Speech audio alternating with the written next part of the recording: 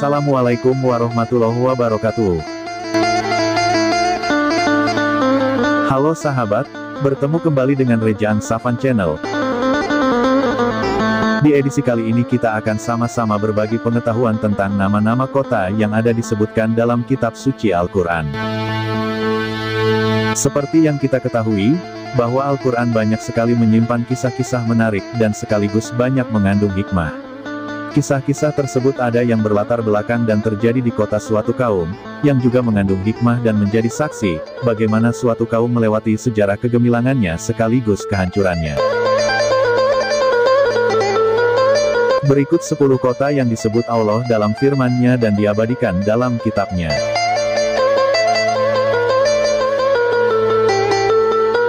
1. Al-Hijr, Madain Saleh. Bukan hanya disebut namanya, kota Al-Hijr bahkan menjadi nama salah satu surat dalam Al-Quran, yakni surat ke-15 di Juz 14.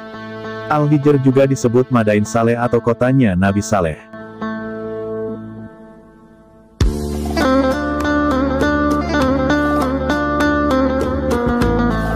Kisah sang Nabi bersama mukjizat unta ajaibnya, terjadi di kota ini. Di masa kuno, Kota dengan arsitektur Nabatean ini dikenal dengan nama Hegra. Saat ini Al-Hijr hanya tersisa jejaknya saja, yakni sebuah situs pahatan-pahatan gunung yang sangat megah. Kota ini tak lagi dihuni mengingat umat Nabi Soleh yaitu kaum Samud, telah musnah karena azab Allah, kini kota tersebut hanya menyisakan puingnya sebagai pelajaran bagi umat manusia setelahnya. Wilayah Al-Hijr berada di negara Arab Saudi dan menjadi salah satu World Heritage UNESCO.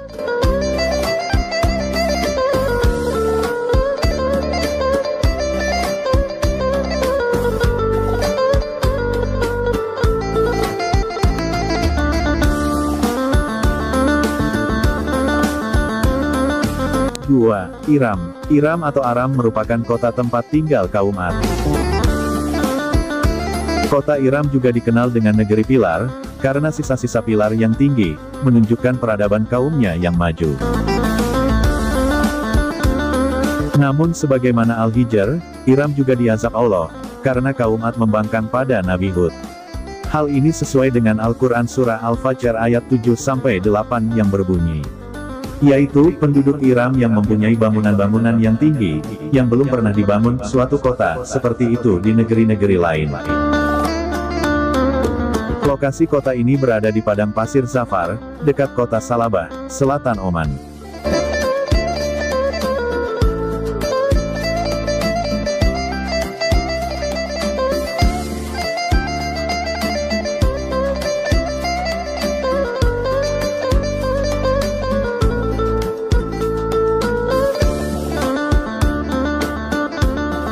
Tiga, Madian. Madian disebut Al-Quran di banyak ayat, di antaranya surah At-Taubah ayat 70, surah Al-Hijr ayat 78, surah Taha ayat 40, dan surah Al-Hajj ayat 44. Kota ini merupakan lokasi Nabi Shuaib diutus. Sebagaimana Al-Hijr dan Iram, Madian pun merupakan kota yang dimusnahkan karena azab Allah. Lokasi kota Madian berada di kawasan Al-Bada, dekat pantai Laut Merah, di perbatasan Yordania dan Palestina.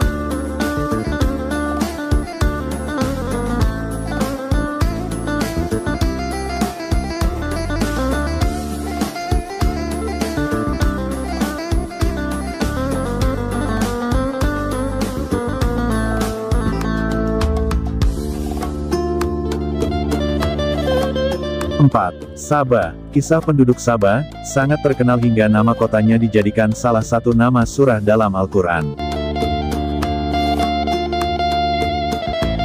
Kota ini merupakan wilayah kekuasaan Ratu Balkis yang kemudian beriman dan menjalankan syariat yang diturunkan kepada Nabi Sulaiman.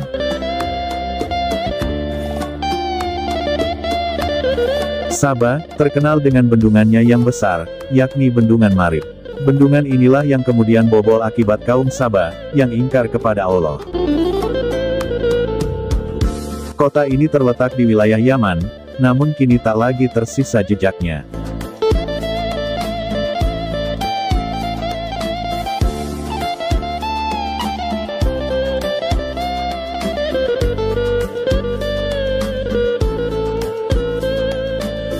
5. Madinah atau Yasrib. Kota Rasulullah ini terekam namanya dalam Al-Quran di Juz 21, yakni di surat Al-Ahzab ayat 13-14.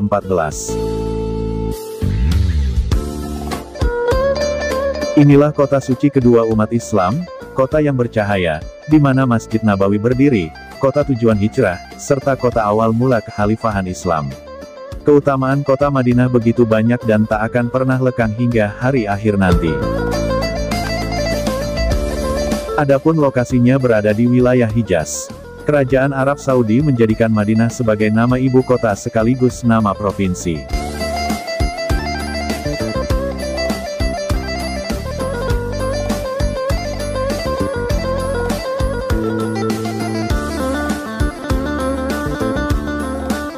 Enam. Makkah. Penyebutan Makkah dalam Al-Quran sangatlah spesial. Allah menyebut kota suci ini dengan beragam nama, yakni, Bakkah, Al-Quran Surah Ali Imran ayat 96. Ma'at, Al-Quran Surah Al-Qasyash ayat 85, serta disebut pula dengan Umul Qura, Al-Quran Surah Asyuro ayat 7 dan Surah Al-An'am ayat 92. Penyebutan Umul Qura karena kota Makkahlah induk atau pusat seluruh negeri di dunia. Dalam ayat lain, Makkah juga disebut Al-Balad Al-Amin, yakni negeri yang aman, Al-Quran Surah Etin ayat 3. Nama surah Al-Balad pun bukan bermakna negeri secara umum, melainkan negeri Makkah.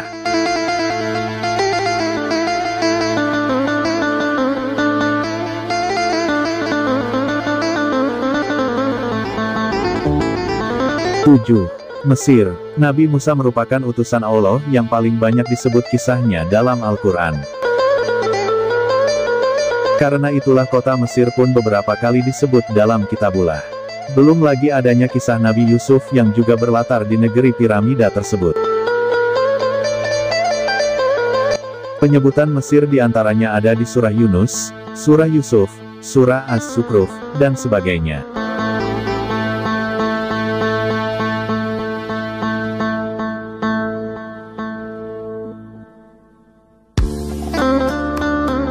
8. Najran. Kata Najran memang tak ditemukan dalam Al-Quran secara eksplisit.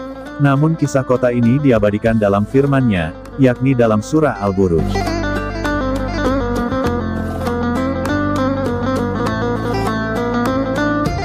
Kisah ini sangat terkenal yakni tentang pembesar Najran yang memerintahkan pembuatan parit-parit. Api membara kemudian dinyalakan di dalam parit dan menjadi lokasi eksekusi orang-orang yang beriman. Saat ini Najran masuk wilayah Arab Saudi, di daerah perbatasan dengan Yaman.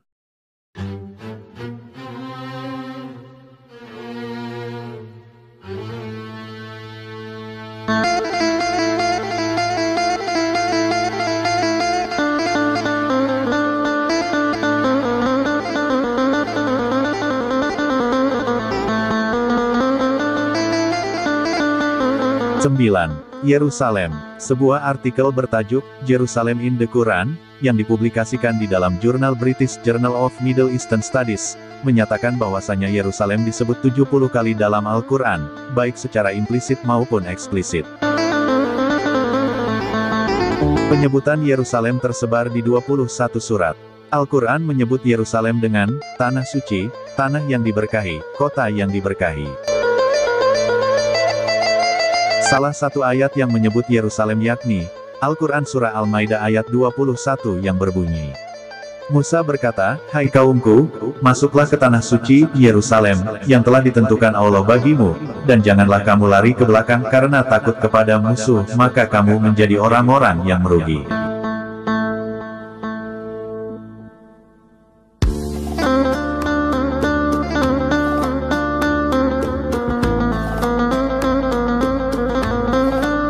10. Syam. Al-Quran tidak menyebut nama Syam, namun menggambarkan kota tersebut di beberapa ayat. Allah menggambarkan Syam sebagai, negeri-negeri bahagian timur bumi dan bahagian baratnya, Al-Quran Surah Al-Araf ayat 137. Disebut pula sebagai, tempat kediaman yang bagus, dalam surah Yunus ayat 93. Negeri yang kami telah memberkahinya, dalam Al-Quran Surah Al-Anbiya ayat 71. Syam merupakan negeri di sebelah timur Laut Mediterania. Syam saat ini merupakan wilayah beberapa negara Timur Tengah. Di antara negara yang masuk dalam wilayah Syam yakni Palestina, Yordania, Suriah, dan Lebanon.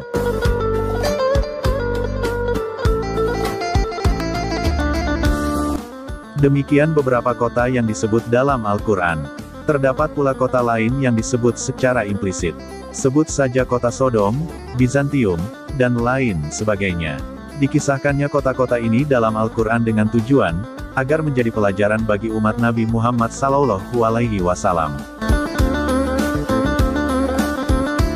Demikian Rejaan Safan Channel edisi kali ini, jika sahabat menyukai konten ini, mohon bantuannya untuk like, komen dan subscribe, terima kasih.